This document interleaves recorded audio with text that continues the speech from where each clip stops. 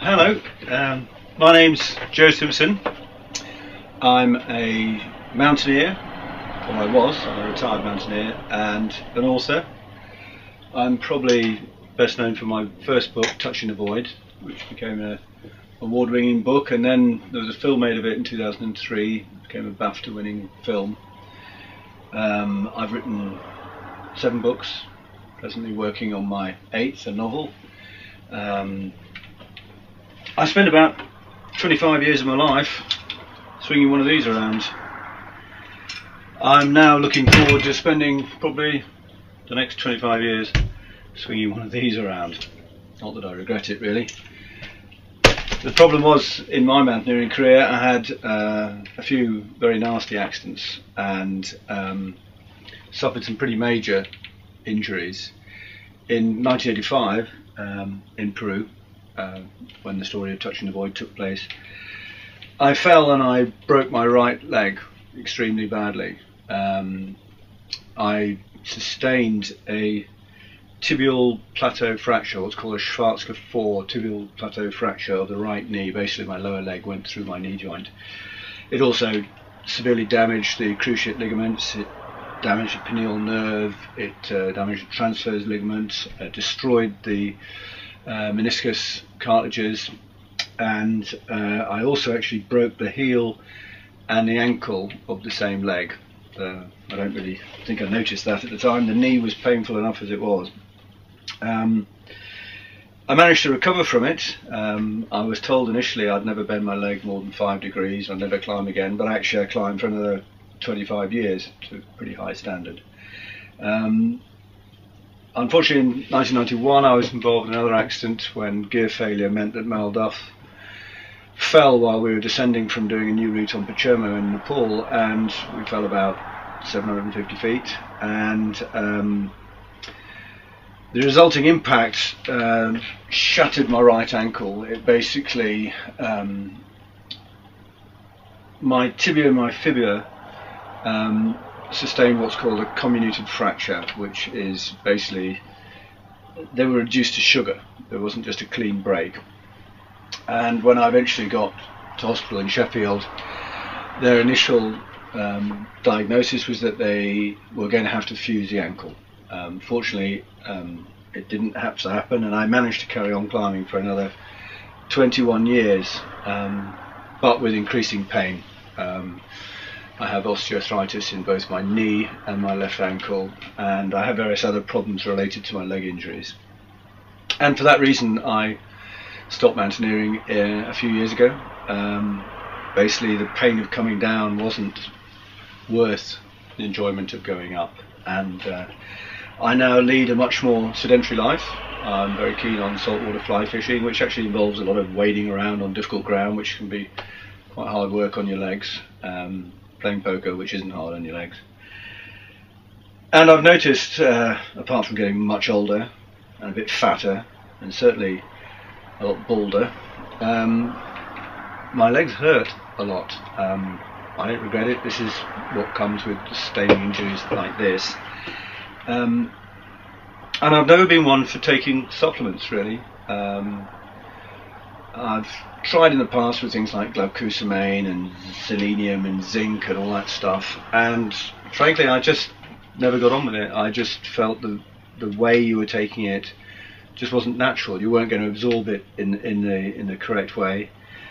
Um, I'm certainly very cynical about um, multivitamins. I think you just they just go straight through you like a dose of salt. I think the whole business is a con actually. But so I should set out from the beginning. I'm not uh, super keen on anything like supplements. But not so long ago, about five, six months ago, my left ankle um, swelled up, got into extremely painful situation for about three weeks, quite excruciating actually. Had no idea what had happened.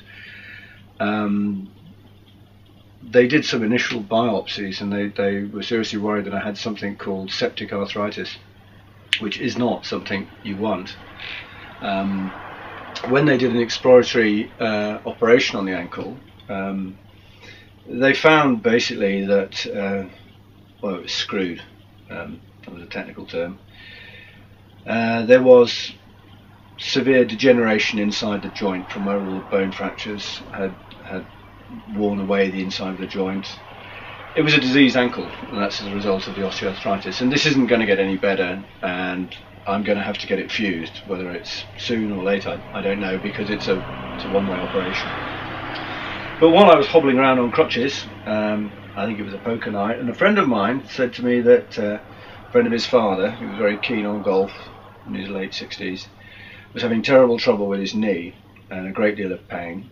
And he'd been re- recommended this stuff called Cherry Active, and uh, started taking it. And about four to six weeks later, he was wandering around a golf course, fit, hale, and hearty. And I was thinking, well, that sounds pretty good. And uh, I contacted Cherry Active, and they sent me some, and I've been taking it for a couple of months. And um, I'm not a scientist, not a doctor. I can't say whether it has scientifically helped me or not, but I can say I feel a hell of a lot better for it. I can say that a lot of the aches and pains that I was having seem to have certainly lessened.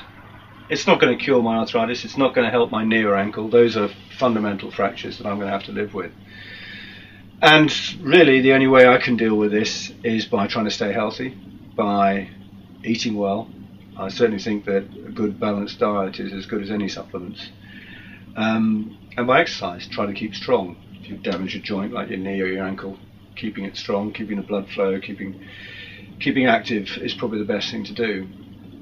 But there's no doubt to my mind that Cherry Active is doing something, and uh, I couldn't really recommend it more.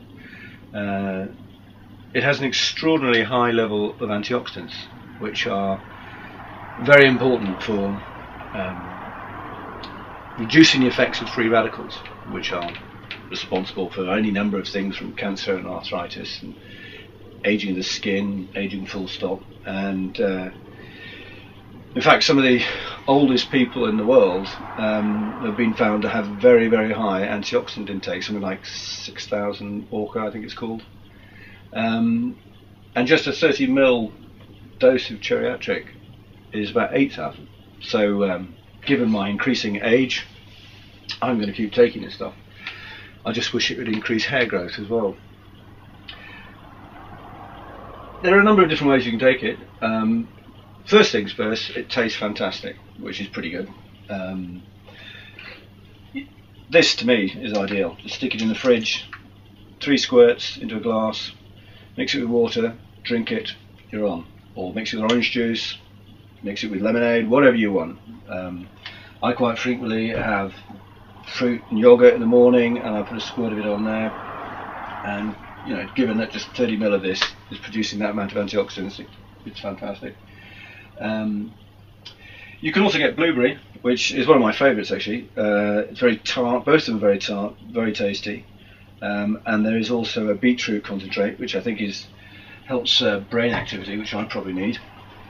Uh, if you travel a lot, which I do, uh, you probably realise now that flying is one of the biggest pains that you can do.